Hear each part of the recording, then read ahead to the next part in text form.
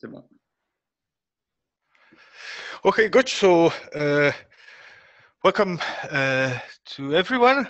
So, uh, today in uh, um, our seminar, we have the pleasure to have with us Blagoje Oblak from LPTHE uh, and uh, CPHT, and he will tell us about Berry phases and drift and the KDV equation. Thank you. Thanks for the introduction. So, um, hello everyone, and nice to, to meet you at least uh, virtually. Um, before I start, I would like to thank David, Mark, and Carol for setting up this seminar. It's a pleasure uh, to speak in front of your group uh, and a bit wider apparently than the Lyon group alone. And uh, I hope you will enjoy my presentation. So as announced, I'm going to talk about Berry phases that appear in the KDV equation. This is based on a series of works that I initiated about four years ago but the main reference for today is really the very last paper in this list, which uh, I wrote a year ago uh, together with my collaborator, Gregory Kozyreff, who is based in Brussels. Now, before I start uh, the talk proper, I would like first to give, wait, I would like first to give a bit of a context to explain uh, where this work really comes from. Indeed, I, indeed, I initially uh, did my PhD in um, quantum gravity in Brussels, uh, and then I moved to Zurich for my postdoc, where uh, my interest started shifting towards low energy physics and, in particular, hydrodynamics. Uh, and in fact, since about a year and a half now, I've been a postdoc in the Paris region, working in particular uh, on the quantum Hall effect. Now, obviously, uh, these three subjects are very, very different, but my point of view about them is sort of unified in that, in that in all those cases, it turns out to be crucial to understand uh, the role of diffeomorphisms, that is, the role of various continuous deformations of continuous media. For example, uh, general relativity is notoriously invariant under arbitrary deformations of space-time. Fluid flows can be seen as time-dependent deformations of space. And finally, uh, quantum Hall droplets are incompressible and therefore have an infinite dimensional symmetry under deformations that preserve area. In particular, today's talk is really going to be uh, one aspect of this general line of thought because I'm going to argue that fluid flows give rise to time-dependent diffeomorphisms, which in turn generate certain Berry phases that I initially uh, studied in the gravitational context. So aside from the specific subject of this talk, uh, my hope today is to convey the idea that uh, there's interesting physics to be extracted from the interactions of these, these three uh, seemingly very different fields, and so that's sort of the ideology that I hope to, to convey. Um, one last thing before I actually start, uh, obviously, please feel free to interrupt at any point if you have a question. This is, of course, always true uh, in any talk, but it's especially true here because this is a Zoom talk, so I don't see you and I cannot read the room. So do feel free to stop me at any point if you have a question. I have actually timed the talk so that you know we fit easily in one hour, including questions. So just ask away if something is unclear. So uh, having settled these preliminaries, let me now actually start the talk. Um, I'm going to begin by motivating the subject with an analogy taken from atomic physics. Namely, consider an electron represented here by the red dot, which is orbiting around some atomic nucleus. Then that electron has a spin vector, which I'm representing here by the red arrow. And what Thomas showed about a century ago is that as the electron completes one orbit of its motion around the nucleus, its spin vector doesn't quite return to its initial orientation, but instead undergoes a small rotation. From a modern perspective, the angle of that rotation is in fact a Berry phase associated with adiabatic Lorentz boosts. More abstractly, it's really a Berry phase that comes from a unitary group action on the Hilbert space of one electron. It is therefore natural to ask if there generally exist Berry phases associated with any continuous unitary group action in quantum mechanics. The answer, in fact, turns out to be yes. But one particular implication of, the, of this fact uh, seems not to have been studied much in the literature, and this has to do with deformations of spatial samples where quantum systems live. So with this motivation in mind, today's talk can really be summarized in just two statements. The first statement is that, as I'm going to argue, sample deformations do generally produce Berry phases. For reasons that will soon become clear, I'm going to refer to those as Virasoro Berry phases. The second key statement is that such Berry phases are in fact realized dynamically in the KDV equation where they contribute to a notion of drift velocity. So this is really the main content of today's talk. Um, the applications of these ideas obviously include some aspects of hydrodynamics, to which I'm going to return repeatedly in the talk. But more remotely, these ideas also apply uh, to the quantum Hall effect, uh, because one can imagine deforming a Hall droplet adiabatically and thereby generating Berry phases of the kind I'm going to describe. This is something I'm currently working on uh, with Benoit Estienne. But I should really stress that uh, the focus of, of, today's talk is going to be entirely on hydrodynamics, and I'm really not going to mention uh, the Hall effect much. So um, here is now the plan of the talk. I'm first going to introduce Virasoro-Berry phases in general. Then I will turn to the seemingly unrelated notion of drift in the KdV equation. And finally, I'm going to combine those two concepts and actually show how Virasoro-Berry phases affect drift velocity in KdV. And finally, let me repeat once more, please do ask any, any technical question on the talk if you have um, something to ask. So uh, let's start with Virasoro-Berry phases. Uh, here I'm going to proceed in three steps. First, I'm going to remind you in general what Berry phases are. Then I'm going to compute Berry phases associated with deformations of a circle. And then finally, I'm going to extend this into uh, Virasoro-Berry phases. Now, Berry phases in quantum mechanics occur when uh, you're considering a quantum system that depends on a certain set of continuous external parameters. Here, I am collectively denoting these parameters by the letter G because I eventually wanted to think of them as uh, specifying a point in a group manifold. But at this stage, you should really think of this notation as just a convenient shorthand for the set of parameters labeling uh, the quantum system. Now, in particular, the eigenstates of the Hamiltonian now are parameter dependent. Here I'm focusing on one particular energy eigenstate whose energy I'm going to assume is isolated and non-degenerate. The question we wish to ask is, what happens when some external experimenter uh, comes up, looks at the system, and decides to change the values of these parameters in time? This corresponds to following a certain path, gt in parameter space, where the index t stresses that parameters are now time-dependent. Specifically, we want to solve the Schrodinger equation in such a time-dependent setup. It turns out that if parameters are varied slowly enough, i.e. adiabatically, then a wave function that's initially an eigenstate of the Hamiltonian will in fact remain an eigenstate at all later times. And furthermore, if one varies these parameters cyclically, meaning that one starts and ends at the same point in parameter space, then in fact, the initial and final wave functions are the same and only differ by a phase. That phase is written here. As you can see, is the sum of two terms, the first of which is an integral of energy known as the dynamical phase. And the second is the term we're interested in, that's the Berry phase. In particular, note that the Berry phase explicitly involves the parameter dependence of energy eigenstates. So this is a general formula for Berry phases in quantum mechanics, and we're now going to apply it to the case where parameter variations are really given by time-dependent deformations of a spatial sample. For definiteness, let's consider a quantum particle on a circle so that the position of the particle is periodic, as is the corresponding wave function. I'm going to act on such wave functions with deformations, that is, diffeomorphisms. Now, these diffeomorphisms are going to be crucial throughout the talk, so uh, let me give you a few examples of them. Here is a circle where I have distributed uniformly a bunch of particles, I'm going to act on that circle with certain deformations. So here's one example where I have pinched the circle here on the right and thereby attracted all the particles towards that point here on the right.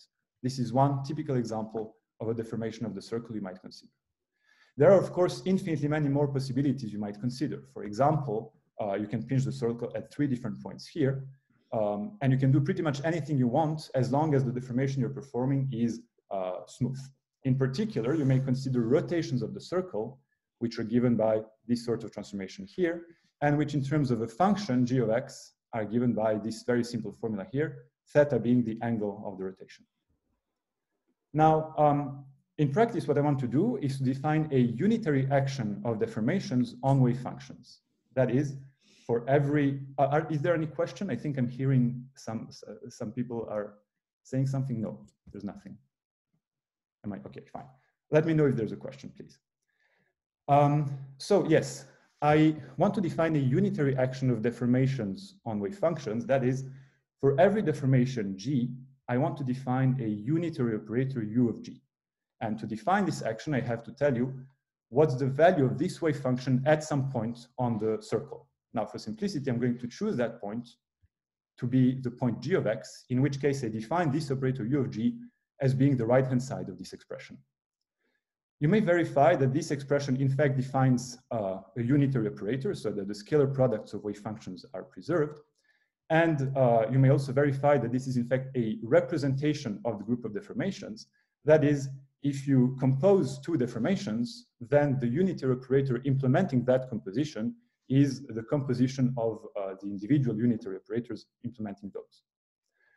So this is exactly the setup we had with Thomas precession, and in particular, we can now ask what happens when some external experimenter uh, shows up and decides to uh, deform the system in a time-dependent manner. That is, someone forces the system to undergo a time-dependent family of deformations. If those deformations are performed adiabatically and cyclically, one expects the system to pick up Berry phases. Now, in order to actually compute those Berry phases, I have to tell you something about uh, the wave functions we're going to consider, the eigenstates of the Hamiltonian. I'm going to assume that these eigenstates are in fact plane waves, so that they're labeled by uh, their momentum k. In that case, the Berry phase is given in general by the formula I displayed before, which I'm here applying to the case where parameter dependence stems from a unitary group action. And if now you use this formula for these unitary operators, what you find is this compact expression for the Berry phase. Now, there are two aspects of this formula that I want to stress. First, note that the momentum k of the wave function appears as a parameter here in the Berry phase. And secondly, notice that the Berry phase is a functional of this path of deformations. Notice that uh, the parameter space here is manifestly infinite dimensional because you can perform uh, an infinite uh, you have infinitely many linearly independent deformations that you can consider. But despite this infinite dimension, the Berry phase is pretty explicit. Now, before I move on, there's just one comment that I want to make about, um, uh, about this Berry connection here. Indeed, the integrand you can write as a Berry connection of this form. And I'm mentioning this expression of the Berry connection because we're going to recover it later in the KdV equation. So please try to remember that the Berry connection is an expectation value of this Lie algebra valued one form G inverse dG. Yes? Can I ask a small question? Sure. Uh, it's a continuous family of, of uh, function JTX? Yes. Okay. Uh, uh, if, you, if your question is whether the labels T and X are continuous, yes, they are continuous. Is that okay. your question or? Yeah, it's a question. Yeah, yeah, okay. So yes, I'm just taking, you know, imagine that you start from the identity in the group of deformations and then just slowly deform your circle, then rotate a little bit, then deform back and deform back into the identity, for example, and you will pick up in general the Berry phase. Does this answer your question? Yeah, thank you. Okay, good, good. Um, so, okay, uh, we now have an explicit formula for the Berry phase, which is nice. But in practice, for physical applications, it's often of interest to include in this formula what's called a central charge. In that case, the group of deformations of the circle is extended into what's known as the Virasoro group. Now, I'm not going to go into the details of how the Virasoro group is defined. If you're familiar with two-dimensional conformal field theory, you may know that actually uh, the Virasoro group is precisely um, the symmetry group of such theories. But in practice, for our purposes, all it means to move from deformations to Virasoro is that we now have to add an extra term in the Berry phase. Indeed, it turns out that the Berry phase is the same as before, plus now a Virasoro central charge C, multiplying this third derivative term. In particular, again, if you're familiar with the, the Virasoro algebra, this third derivative is in fact a remnant of the term m cube in that algebra. But regardless of details, we now have a very explicit formula for Berry phases associated with Virasoro transformations. And we can now ask the following question.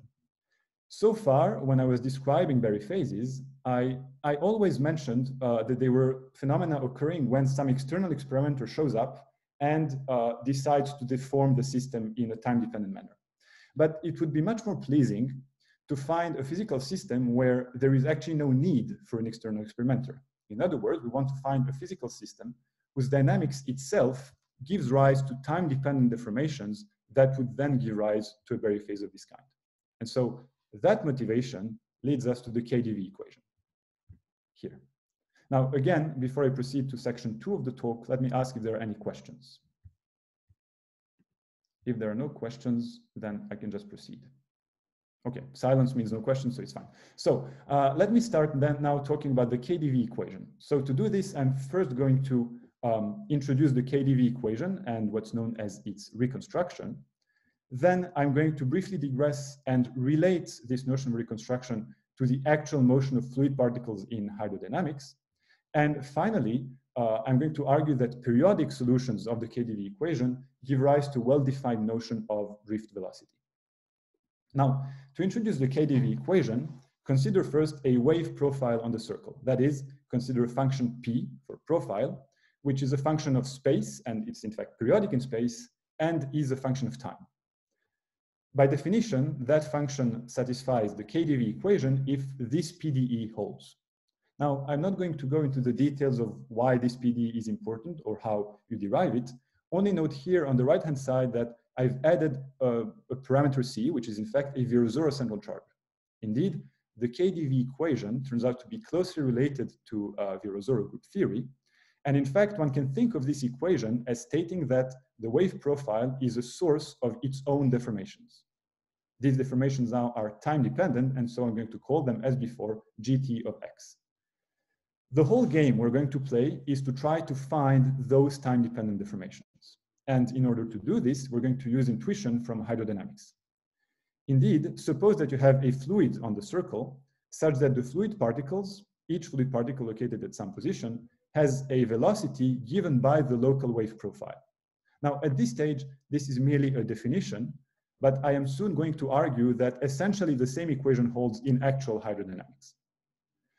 Now, in order to relate the motion of this particle to uh, this time-dependent deformation, we're going to declare that the position and time t is given by this time-dependent deformation acting on a suitable initial condition. When you plug this ansatz into this equation of motion here, what you find is this equation for these time-dependent deformations. Now, this kind of equation is going to play a, a key role throughout the talk, so let me now introduce a simplified notation for it. From now on, I'm going to rewrite this equation simply as g dot g inverse equals p. In other words, the wave profile equals the logarithmic derivative of these time-dependent deformations.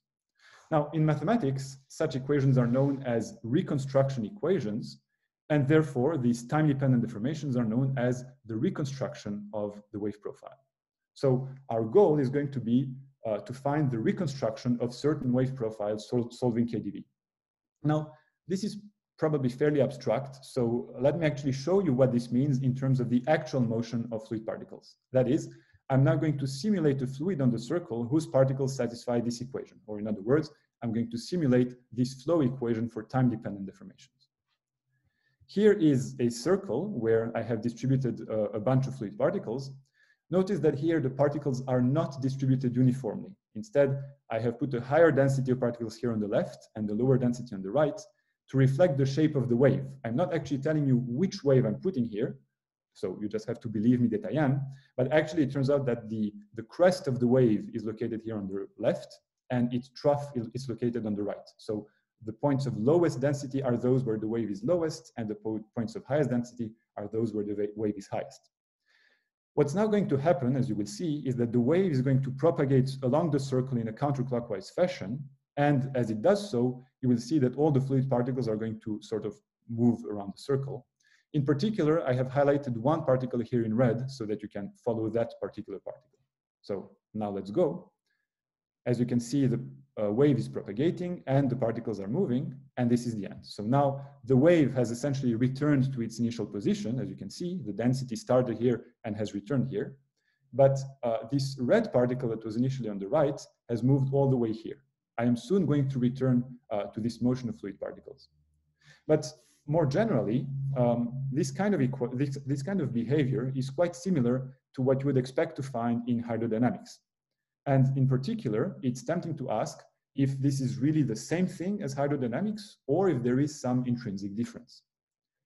Now, to answer this, one first has to remember that the KDV equation was historically introduced as a model of shallow water waves. In that context, the coordinate that I've been calling lowercase x is actually not a fixed lab coordinate, but is instead a light cone coordinate, which is given by this kind of expression, where capital X now is a fixed lab coordinate, while this velocity v uh, is essentially the velocity of gravity waves on the surface uh, of water. And uh, furthermore, in that context, the wave profile P is in fact the deviation of depth with respect to some average depth that you've chosen. Furthermore, this depth deviation satisfies the KdV equation, and the equation of motion for fluid particles is given by this equation here. Now, is this the same as reconstruction?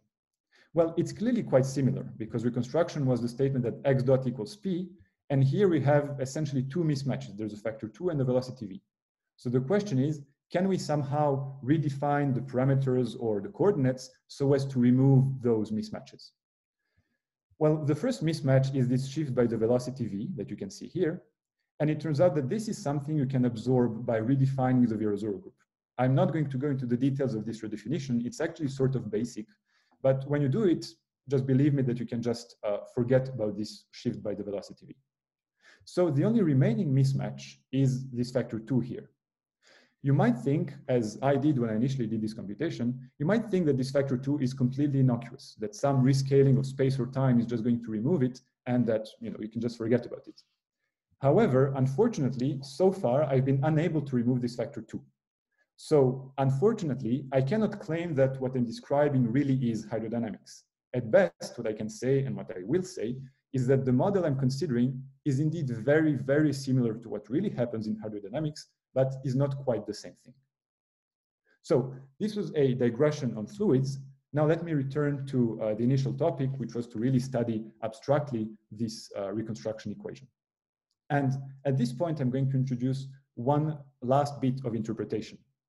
Namely, I'm going to think of the wave profile uh, as consisting of an infinity of time-dependent parameters. Indeed, uh, this is a function on the circle, so you can expand it in Fourier modes. And when the function depends on time, these Fourier modes are obviously time-dependent. Thinking of this function as uh, a set of parameters, it's natural to ask what happens when the wave is periodic so that it returns after some period t to its initial configuration. Specifically, we're going to ask what does this periodicity entail for uh, the fluid particles that solve this equation of motion? Well, in order to uh, you know, develop some intuition about this, it helps to first just solve this equation numerically for one particular choice of a periodic wave profile. Again, I'm not really going to tell you which profile I'm choosing because it really doesn't matter. It's actually a periodic soliton, but you would have essentially the same kind of behavior for any periodic solution of KdV.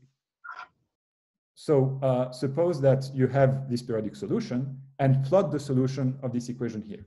So this is the kind of plot you would find. Now, what's striking about this behavior is that if you look at this plot from very far away, then you see that in fact at late times, all the particles tend to behave linearly in time and all in fact uh, have the same coefficient. So in other words, all the particles tend to drift with the same drift velocity. This notion of drift velocity is the main observable we're going to focus, from, focus on from now on. In particular, I'm going to ask two questions about this notion of drift. First, why do the particles drift in the first place? And secondly, how fast exactly do they drift?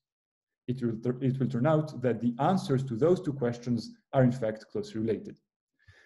Answer, answering the why part is actually quite easy. It simply has to do with the fact that even though the wave is periodic, its reconstruction need not be. In other words, the initial configuration of the fluid, G naught, need not coincide with the uh, configuration of the fluid after one period, GT. This mismatch between G naught and GT can in fact be used to estimate the drift velocity. Indeed, the latter is defined uh, by definition as uh, this late time limit of the velocity of fluid particles. But because uh, this wave profile is periodic, you can rewrite this limit as a limit in the number n of periods that, ha that have elapsed. And in that rewriting, what appears here is the nth iteration of this diffeomorphism GT G inverse. And obviously, if GT differs from G naught, this diffeomorphism is not the identity. Now, what's nice about this rewriting is that this limit turns out to be a very well-known quantity in ergodic theory. Indeed, if you write it as delta phi, this number is known as the rotation number of GT G naught inverse. In other words, delta phi is roughly the average rotation angle generated by this deformation of the circle. Even though I stress that this deformation generally isn't a rotation, but on average, as you can see here, it actually behaves sort of like a rotation. Now, in terms of this average rotation number, I can now in fact state the main claim of the talk. The main claim is that delta phi can be written as a sum of three phases, a dynamical phase, a Berry phase of the Virasoro type described before, and a third somewhat exotic anomalous phase. So the whole remainder of the talk is going to be devoted to the proof of this claim. And before I proceed, let me ask again, are there any questions at this stage? I hope, I hope this has been followable. I mean, one small question on the previous Yes. slide. So when you said you redefine your Virasoro, is this just a shift of the zero mode or is it? Yes, it is, it is. Okay. But, but you have to do it at the level of the group. If I mean, at least I did it at the level of the group because I'm using really the group. And then actually it's a co-cycle that I, I had never seen in the literature. I didn't know you could do it this way, but it's, it's really quite easy. Okay. On the level of the algebra, it's really just shifting L0 by essentially V. Mm, okay. Okay. Yes, And uh, the, the other thing, so uh, is it uh, okay or meaningful to think about this drift as a sort of a winding mode that you introduce? Uh, or is Um, this not a good way to think about it? Ah, that's a good point. Uh, well, I mean, on a very sort of, um, so very loosely speaking, yes, you can think of it as a winding because it, it really is the average winding of this diffeomorphism, except that it has no reason to be integer, right? I mean, it's in general, it's a, you know, Sure. Yeah. it could be any angle. And in fact, we'll see later that it's essentially a continuous function. Uh, but in fact, it is true that for certain wave profiles, uh, you can really think of this as a quantized winding mode. In fact, there are certain wave profiles for which this is an integer multiple of 2 pi. Okay. But Okay. uh, so I, am going to return to this at the very, very end of the talk, and it has to do with the properties of coadjoint orbits of Virasoro if you want to use Yes. technical terms. Yeah, yeah. So yeah, I, I would like to, but let's go. Let's come to this in the end. Thanks. there's going to be a nice structure here indeed, but for now it's still a bit hidden, but we'll get there. Thanks. Any other questions? Okay, then, so let, let me proceed. Um, it's always a bit strange in these Zoom meetings because you ask people no questions and there's and there's just complete dead silence. And you know, in an actual seminar, you wouldn't have this, but I'm getting used to it. This is already my, my fourth Zoom talk. So anyway, um, I now want to relate this statement here. So I want to prove that delta phi really has to do with Virasoro-Berry phases. And so that's the content of the third section. Just to remind you once more of, of what I have done so far, First, I argued that adiabatic deformations give rise to Berry phases. That was section one. And then in section two, I showed how the reconstruction of the, of the KDV equation gives rise to time-dependent deformations, which in turn, in the case of periodic profiles, uh, gives rise to a notion of drift velocity. So my goal now is to relate these two notions, to show how drift is related to Virasoro-Berry phases. Now, to do this, I'm going to proceed in three steps. First, I'm going to introduce the general framework of Euler equations, of which uh, the KDV equation is just one example. And then uh, I'm going to argue that all Euler equations quite generally contain uh, geometric phases. And finally, I'm going to apply this to the KDV equation. Now, in order to introduce uh, Euler equations, I'm going to start with a very simple mechanical example, namely, consider a free rigid body. By this, I mean a top, such as this one, which is floating freely somewhere in space. Uh, I stress that the top is not standing on a table, there's no table here, but it's really something that you know an astronaut has thrown somewhere in the International Space Station. Our goal is to describe the time-dependent configuration, the time-dependent orientation of this top. Now, to begin, notice first that because this is a free rigid body, in any inertial frame, its angular momentum vector is going to be constant. I'm going to call that constant k from now on. And as you will see, k is going to be k is, k is going to play an important role uh, essentially until the end of the talk. Now, in practice, if we want to describe the motion of this top, it's much more convenient to introduce a non-inertial reference frame, which is attached to the top, which really rotates along with the top. Now, that frame is given by certain, is related by certain time-dependent rotations to the inertial frame we had at the start. And furthermore, from the point of view of this attached reference frame, which is non-inertial, angular momentum is in fact a heavily time-dependent quantity. but it is crucially related to the time-independent reference momentum k by these time-dependent notations. Now, this equation is a, an elementary kinematical statement, but it turns out to be really crucial for essentially all considerations having to do with the motion of the top. Indeed, what it means is that the motion of angular momentum takes place on a sphere. Somewhere on that sphere lies the angular momentum k, which I chose as a reference point. And then somewhere else lies the motion of momentum. So here is how the moment would look like when moving on the sphere. Now, in order to actually find the shape of this black curve representing the motion of this momentum p of t, we need to put some dynamics into the game. In the case of a free rigid body, dynamics is given by the Euler equation, stating that p dot is some quadratic combination of p's. Here, the wedge is just the cross product of uh, vectors in three-dimensional space, and what I'm calling i is the inertia tensor, specified by the distribution of mass in the rigid body. Um, now suppose that you can solve this Euler equation. Then you can relate angular velocity to angular momentum by declaring that angular velocity is this logarithmic derivative of the configuration and it's proportional to the angular momentum. Because you've assumed that you know angular momentum, you can then plug it in this equation here, integrate the equation, and therefore find the complete reconstructed motion of the top. At this point, you have won the game you have, you have now found the complete time-dependent orientation of the rigid body. You can think of this time-dependent orientation, as I said, as a path in the group of rotations. And so it's very natural to ask if one can generalize this whole construction to essentially any continuous group. So suppose you're given a group which has Lie algebra, that algebra is a vector space which has a dual space. Now, regardless of uh, the detail, the technical details of these definitions, what the sort of intuition that I would like you to keep in mind is the following.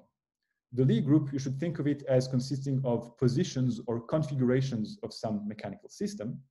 The Lie algebra, you can think of it as consisting of velocities. And the dual space of the algebra, you, you can really think of it as a space of momenta. Now, in all Euler equations, our goal is going to be to describe, to describe time evolution as a path in the group manifold. And we're going to do this in two steps. The first step is to declare that momentum satisfies an Euler equation.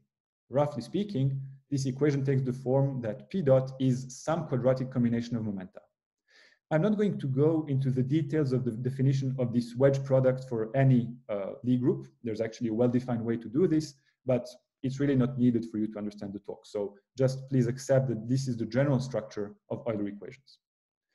Once you have solved this kind of Euler equation, you can move on to the next step uh, of um, Euler equations, which is the reconstruction equation. Reconstruction states that the velocity of the system is linear in the momentum. And again, here, there's actually an inertia that relates the two, but I'm again skipping it uh, for simplicity. Now, provided you can solve those two equations, you have actually found the complete time-dependent configuration of the system. And furthermore, these time-dependent momenta that solved the Euler equation are in fact given by these time-dependent configurations acting as group elements on this momentum k. Now, this is the last bit of abusive notation here. I'm not actually defining what this dot means. In a matrix group, this dot is essentially the adjoint representation, but in more, in, to be precise, the coadjoint representation. But in uh, more abstractly groups, uh, well, again, this is the coadjoint representation, but it can in general be uh, somewhat complicated. In fact, I'm going to return to this dot notation somewhere near the end of the talk, but for now you don't really need to know it. Instead, what's really crucial is to realize that all these ingredients appear explicitly in the KdV equation. Indeed, uh, for the Lie group, you can just take the Virasoro group. The space of momenta is just uh, the space of wave profiles. Um, the Euler equation is the KdV equation, and as I, as I said before, the reconstruction equation is equivalent to an equation of motion for fluid particles. Furthermore, these time-dependent configurations now are time-dependent deformations. The last bit that I haven't talked about yet is this relation here. In the case of KdV, this statement tells you that all waves solving the KdV equation with one particular initial condition are in fact related to one another by deformations.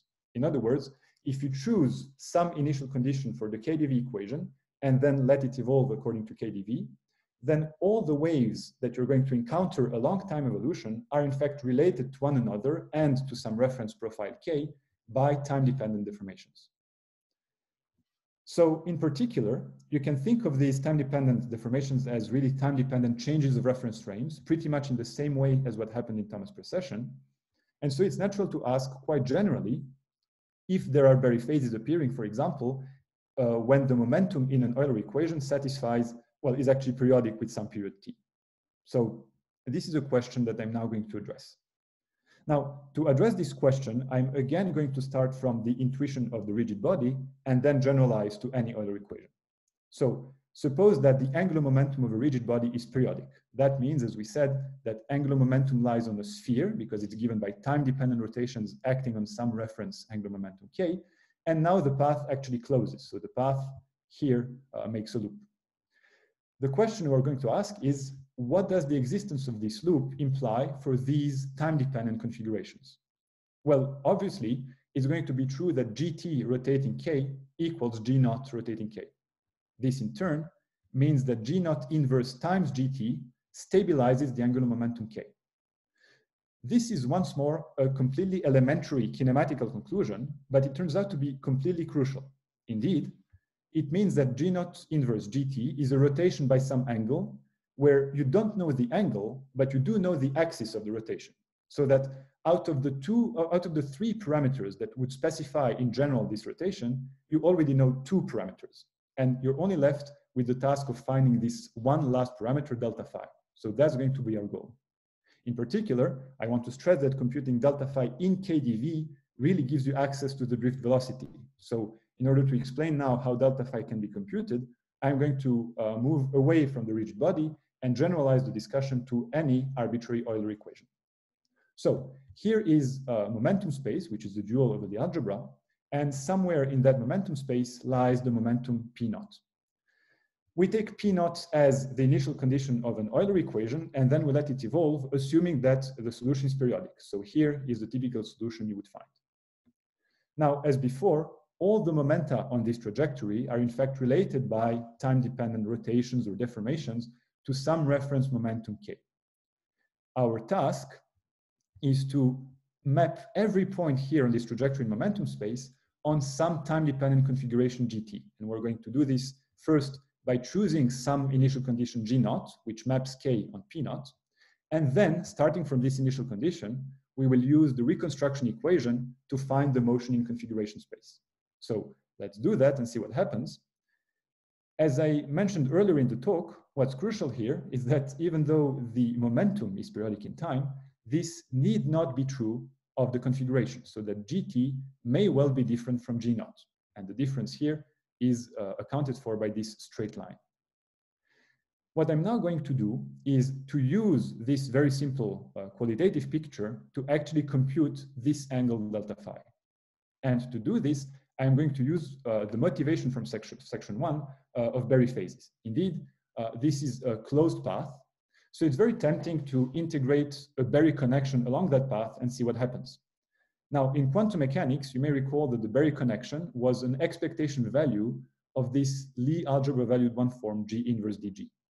Now recall that the wave function was chosen to have momentum k. So in fact, it's somewhat more suggestive to write this uh, in the form written here. Now, from this expression, it's sort of obvious what would be the classical generalization of this. Indeed, G inverse dg is a Lie algebra valued one form, so you can pair it with a momentum k. And I stress now that this pairing, represented by the bra and the ket, has nothing to do with quantum mechanics. This is simply the pairing between a vector space and its dual space. Now that we have at our disposal this classical Berry connection, we can in fact integrate it over the closed path here and see what happens. Well, first, when you integrate it over the closed path, you get uh, a holonomy. That holonomy is a Berry phase. But by construction, the Berry phase splits in two pieces. The first is this helix integral, written here, and the second is the integral of the connection along this straight line here. Now, it turns out that the helix integral is in fact a dynamical phase. It's proportional to energy and period. And as for the straight line, well, even without doing any computation, it's clear that this straight integral is going to measure the difference between gt and g naught. In other words, it is going to be proportional to delta phi, the angle we're looking for. So already at this very naive stage, we can conclude that delta phi will be the sum of a dynamical phase and a Berry phase. But in fact, we can go a bit further because it turns out that the delta phi coming from this integral really comes from the term g inverse dg in this connection. But there's an additional factor of k in this connection. And so I'm now going to uh, abuse notation slightly, and I'm going to denote by the same letter k, both the momentum k that appears here, and the component of k that appears here, which is the component of this momentum k along the generator of rotations. Now, if you're bothered by this abuse of notation, here in this equation, feel free to replace the letter k by the norm of the letter k, the norm of the vector k, and essentially you will be correct in your understanding of this formula. Now, this formula is an explicit expression for delta phi in any Euler equation with a periodic solution. And so we can now in principle apply this formula to the KdV equation. So let's do it. Let's assume we're given some uh, periodic solution of KdV, that is a function that's periodic both in space and in time now. And let's assume, well, this is not actually an assumption. Because this solves the KdV equation, this wave is automatically given by certain time-dependent deformations acting on some reference profile k. Now, this is the only point in the talk where I actually have to explain what this dot notation means. What it means is the conformal transformation law of stress tensors in CFT. More explicitly is given by this complicated expression here, which, if you're familiar with it, involves here on the right-hand side what's known as the Schwarzian derivative of the diffeomorphism G. In practice, however, in order to follow the talk, you don't really need to know this formula. What I do want you to know is an intuition for what this formula does. So here is going to be a picture of that intuition. As you can see on the uh, horizontal plane here, I've put a circle where I have distributed uh, uniformly uh, a large number of particles. What I'm going to do is to act on that circle with certain deformations. And as I'm doing that, I will also show you the effect of those deformations on a wave profile represented here by this blue circle. Now, notice that here I'm deliberately choosing a uniform profile, a constant. That is, a profile which takes the same value at all points in the circle. As you will see, I'm going to pinch the circle here on the left. The points are going to move there. And as we do this, the wave is going to be deformed. So let's do that now. As you can see, all the points have indeed converged towards this point, but the wave profile, which initially was uniform, has now been deformed into this uh, very clearly non-uniform wave. And so this is really the intuition that you should take away from this complicated formula. What this formula tells you is that when you pinch the circle at some point, you create a local maximum of the wave at that point. And that's pretty much uh, what you should know about this. Now, in accordance with this picture, I am now going to introduce one crucial technical assumption. I'm going to assume that this periodic wave solving KdV is in fact given by deformations that act on a constant flat profile. That is, I assume that the profile k, which is time independent, is not only time independent, but also space independent. It turns out that when k exists, you can actually determine it from, determine it from the knowledge of this profile p. I'm not going to go into the details of this algorithm. It's actually a well-known uh, technique, but please, at this stage, just believe me that you can find the constant k from the knowledge of the profile p. Um, I want to stress that this assumption is restrictive. Indeed, it is not true that any wave profile can be deformed in this manner into a constant. However, it's also not overly restrictive in the sense that uh, the set of wave profiles that can be deformed uh, into a constant has non-zero measure in the set of all possible wave profiles. So it's restrictive, but it's still uh, somewhat generic.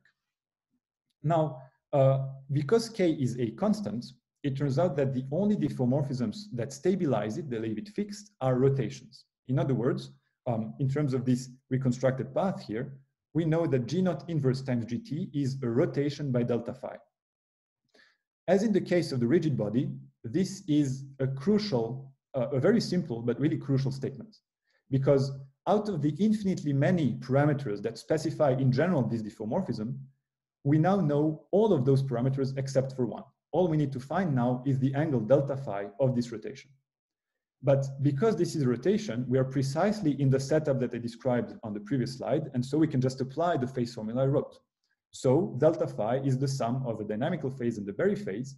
The dynamical phase in KdV is this integral of p squared. And the Berry phase is the expression I wrote earlier in section one for Virasoro.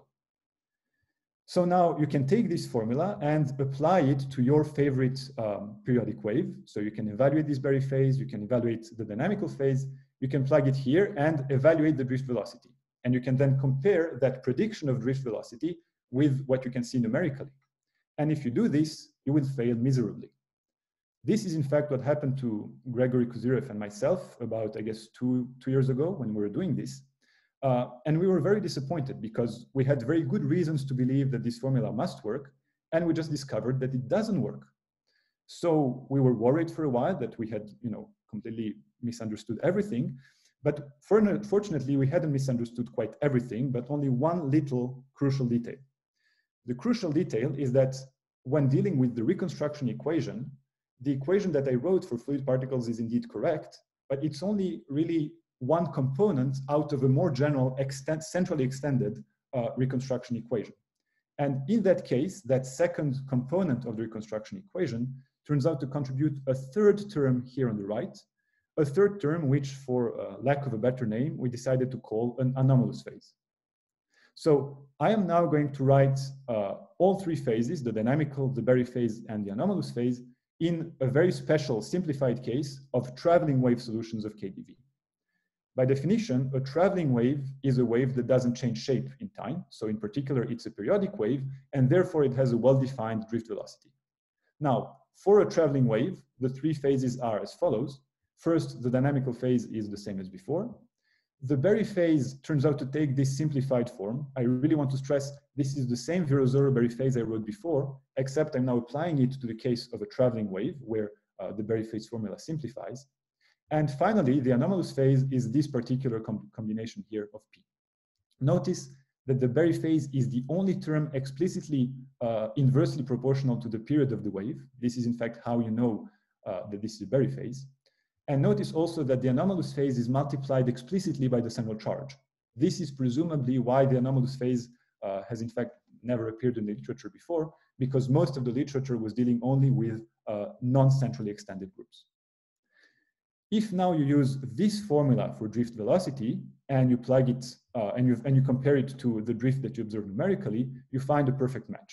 So uh, when Gregory and I saw this, we were very happy because, well, that's sort of what we were hoping to see. Uh, and it's really, in a sense, the main claim of our work. Now, before I conclude, there's just one technical thing that I want to note, which I think is interesting. It turns out that, as I mentioned earlier, not all wave profiles can be deformed into a constant. And that subtlety turns out to lead to interesting bifurcations of the drift velocity. So let me illustrate this. Suppose that you're considering a one parameter family of traveling waves labeled by their wave velocity v. And suppose that for every value of this velocity, you plot the corresponding drift. What, what you will find if you do this is this kind of plot. Now, as you can see, this is a very, very non-trivial function. And in fact, it turns out that in the black regions, um, the waves located here can in fact be deformed into a constant so that this formula for drift velocity applies. And so these black curves here on the right and here on the left, these black curves are explicitly given by this expression for drift velocity. But you can also notice this red region here in the middle. Now in that red region, it is impossible to deform the wave into a constant. So those are waves uh, that cannot be turned by deformations into uniform profiles. And as you can see in that region, the drift velocity behaves in a radically different manner. In fact, in that region, drift velocity coincides with the velocity of the wave, corresponding to a quantized rotation number exactly equal to, to 2 pi. Now, this quantization of the rotation number turns out to in fact be deeply related to the topology of parameter space. I'm not going to go into the details for now, uh, unless there are questions, but um, essentially it turns out that the parameter space here is a coadjoint orbit of the Virasoro group, and that orbit turns out to be homotopic to a point in any black region, but is homotopic to a circle in the red region. And th this topological difference turns out to lead to this radically different behavior of drift velocity. So let me finally conclude the talk. Um, I'm going to just summarize what I've said in one sentence, namely, uh, the whole pitch of this talk was that fluid flows give rise to time-dependent deformations, which produce uh, Berry phases that eventually contribute to the drift of fluid particles. I actually showed this using uh, the Virasoro group, that is, I really relied on tools from conformal field theory, and uh, I also relied quite heavily on symplectic geometry, specifically on the chapter concerning Euler equations. Two of the important corollaries of this kind of investigation uh, were the presence of anomalous phases, which are apparently new, and uh, the observation of certain bifurcations sensitive to the topology of parameter space. Now, I'm currently working on several follow-ups of these ideas. Uh, the first has to do with the motion of fluid particles around vortex filaments. In that case, the group that you need to consider is a Kac-Moody group. And another follow-up that I al already mentioned uh, in the introduction has to do with Berry phases of a quantum Hall droplet, in particular, Virasoro Berry phases of edge modes. And I hope to have more to say about these topics in, uh, in the coming months. So more generally, I hope um, to have managed to share some of my enthusiasm for these questions with you and to have convinced you that there is interesting physics to be found at the intersection between high energy, fluid mechanics, and to some extent also uh, condensed matter. So uh, this is the time for me to end the talk and thank you for your attention. Thanks. Thank you very much. Thank you. Uh, for the talk. So are there any questions? Yeah, so if I may, so one uh, just sort of phenomenological question. So in the application of KdV equation to, to actual uh, gravity waves or stuff like that, uh, what is the value of the central charge? I mean, by, by which parameters is it determined and what's Very the good. order of magnitude? Uh, there is no order of magnitude. It's just non-zero, and that's sufficient. So all of this is classical. And in fact, if you if you really look at the details, um, it's sort of not obvious in the way I wrote it here, but actually everything only depends on the ratio between the wave profile and the central charge.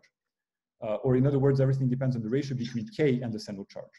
So the central charge itself doesn't really have any intrinsic value. As long as it's non-zero, you can just rescale it away. In fact, uh, well, I think, in, unfortunately, in Adobe, oh, I think I can. Sorry, but the, this I don't get in the Virasoro algebra. The central charge is a dimensionless number that has a well-defined meaning. How, how can you rescale it to an arbitrary value? Yes, but this is classical.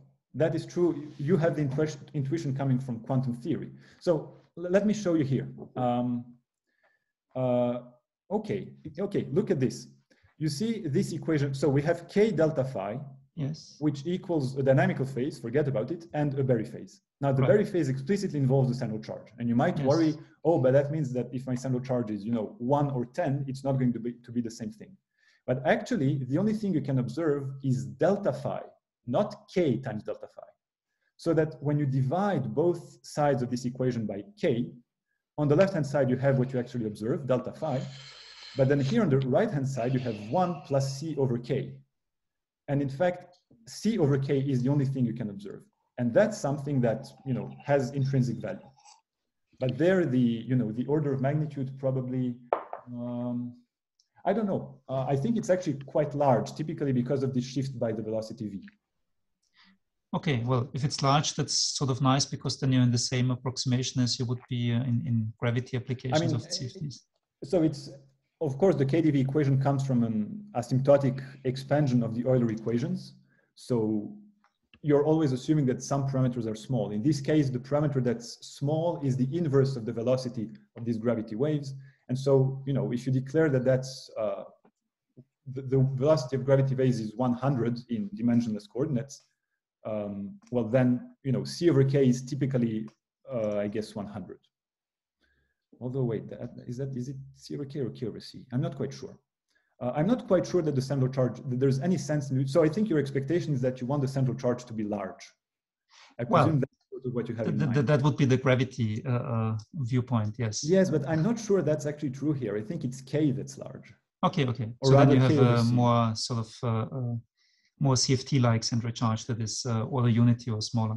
Maybe, but again, I stress that the, you know you can really see it even from the from the KdV equation itself. Let me try. Okay, this works perfect. So if you look at the KdV equation here, Mhm. uh, in fact, you can just rescale the the central charge C, uh, probably by uh, rescale. Well, you cannot just rescale p because then you have a pp prime here. So you would have to rescale presumably time and space at the same time, and then you can just remove this c. Or no, I think you can rescale p and time, and then you can remove the, the central charge c. Because space is 2 pi periodic here, so I don't want to rescale space.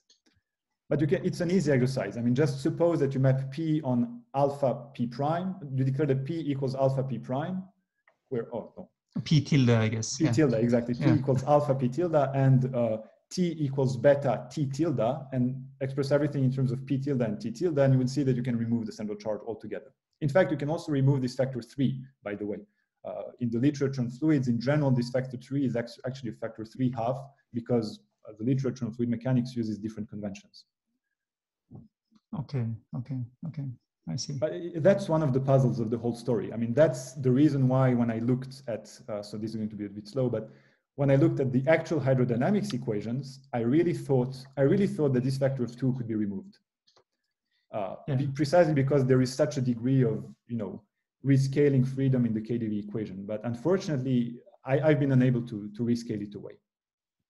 And sorry if I may one more question. I don't mean to eat up all your question time, but uh, in in this anomalous phase that you had, um, there there was this integral expression, and um, well, the integrand uh, in principle can have a pole. So so Ah, does this good. happen? Very good. Or- Thank you. Thank you. This is the perfect question. So actually, when I share my screen, do you see that I have Zoom here or do you not see it? Because I have Zoom sort of in this corner for me, but maybe you guys don't see that I have my Zoom screen there. Okay, very good. That's, that's better. So uh, you see this, so here, re remember, uh, we have waves labeled by their velocity v, and we plot the drift velocity as a function of v. Mhm. Now, I stress that there are here two bifurcations occurring at this point here and at this point here. Now, those points are exactly the points where P minus V has roots. Okay. So those are exactly the points where this guy develops a pole. And, and when, when that pole occurs, you actually move into this regime where the wave cannot be turned into a uniform profile. Okay. Okay. So there really is, I mean, and that seems, I mean, I, I wrote another paper, which I, I haven't talked about today, but I think it was not known that in the KDV equation, there's a relation between zero zero orbits and the roots of this guy. Um, and there really is. Well, this guy has roots, if and only if uh, the profile P cannot be made uniform. Okay. Okay. Thanks. Yeah. Thanks, thanks for the good questions. Uh, so just so that I really I understand this properly, so you're saying that when when when this has roots is exactly the case that you said when you cannot make the profile, you cannot find the transformation that maps to Exactly. profile. Exactly, exactly. So stating that uh, my profile P can be mapped on a constant, that it does have uh, a uniform representative, that assumption is equivalent in the case of traveling waves to the requirement that P minus V is always non-zero at every point on the circle. So whenever P minus V is everywhere non-zero, P can in fact be deformed into a constant. And conversely, if P minus V does have roots, then you cannot deform P into a constant. Even by um, what you would call a, a large diffeomorphism or Oh, you mean something that's not actually diffeomorphism of the circle, but that has some winding or some, oh, Yes. well, that I don't know. That I wouldn't dare saying. I think the answer is probably no, because the, because you mentioned that it's connected also to the topology of your space of parameters. so I mean, in, in, in technical terms, uh, this P minus V term also appears in the diffeomorphism that maps P on a constant. If you actually want to write the map that sends P on a constant, you have to write something like integral of one over P minus V. You really have that appearing. Um, and so when this guy has poles, that diffeomorphism becomes, you know, it's not smooth. It- it's not even a matter, a matter of winding many times over the circle, but it's really a non-smooth transformation of the circle. It's actually discontinuous. So I think the answer to your question would be no, even by a large diffeomorphism, large, large diffeomorphism in the sense something that's not a diffeomorphism, but winds around the circle, I think you, you would still be unable to map such a P on a constant. Okay. Thanks.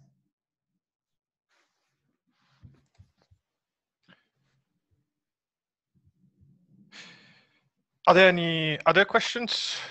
I have a, another question related to this factor of two problem that you had. Uh, I mean, not a problem, but uh, mismatch. Okay.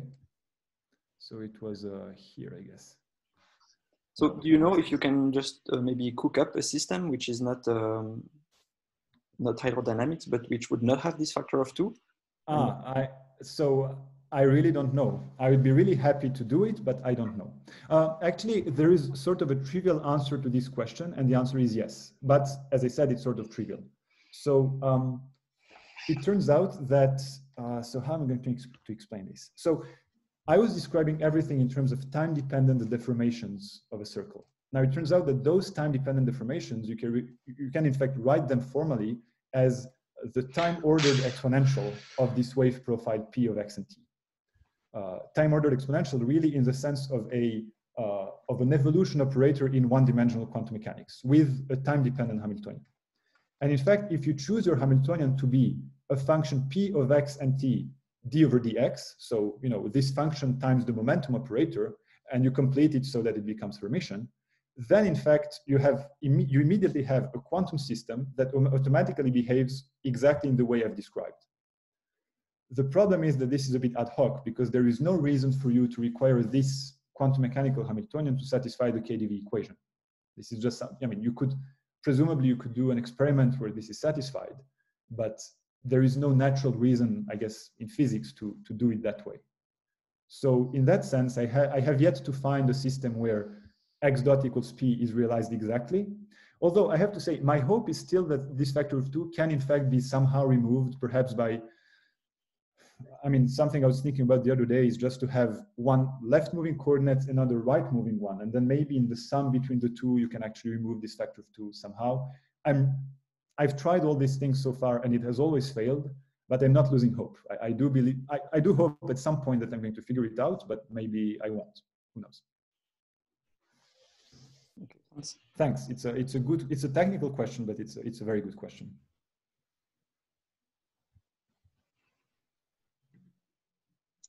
So uh, my question would be that uh, like here the equation you, you study is always like equation related to group structure. So you are always like restricted to specific equation. You can't uh, like yes. a general model. There is no hope to put it in this form. For example, because like quantum Hall effect is more applied to a wide variety of model. Here is more like for specific group. Or... So, well, yes, but the, so the power of these Euler equations, so let me return to the page on Euler equation, which is presumably here. Um, the power of this kind of equation, P dot equals P wedge P, is that, so it's a nonlinear evolution equation, uh, but it's remarkably generic. Um, in fact, the KdV, so for example, you were mentioning the quantum Hall effect. Uh, there's a paper by Carusotto and some other collaborator. It's a recent paper from 2020, where they show that uh, in some approximations, the edge modes of the quantum Hall effect satisfy a nonlinear wave equation such that the density uh, of edge modes satisfies KdV, in fact. They really find a good matching between some numerical experiments that they run and KdV dynamics. So, uh, uh, oh, I wasn't aware of that paper. It's like even in the, with linear systems, they achieved to obtain nonlinear equation for the edge mode. So that's what they claim. Um, and I'm so I've read the paper, uh, and I don't quite understand their arguments, especially because they are in fact in the integer quantum Hall effect. Uh, yeah. So you know, I would expect the wave equation there to be linear, but they claim that if the um, um, if the, uh, I guess, the slope of the uh, of energy varies, uh, then in fact there are nonlinear effects that can be incorporated by the KdV equation. Having said this, you don't actually need to use that paper. There's a paper by Wiegmann uh, from a few years ago, I think 2016, where he describes nonlinear edge modes of the fractional quantum Hall effect. Um, mm. And again, the kind of equation that you find in that case is typically of an Euler type. Uh, there's actually sort of a renormalization group argument for why Euler equations are uh, more or less universal. And it has to do with the fact that their, um, their Hamiltonian is quadratic and their symplectic form is the natural one from the point of view of group, of group theory. So whenever you have a configuration space that's a group, uh, essentially at low energies, the first thing you're going to see is Euler dynamics. And that's sort of why the KdV equation is universal. In fact, the nonlinear Schrodinger equation is also an Euler equation. And that's sort of everywhere in nonlinear science. So yeah. This is indeed for specific models, but these specific models are surprisingly generic. Okay. This yeah, as far as I know. Yeah. Thanks. Uh, Thanks thank you very much for you, your answer. Thanks. Thanks for the question.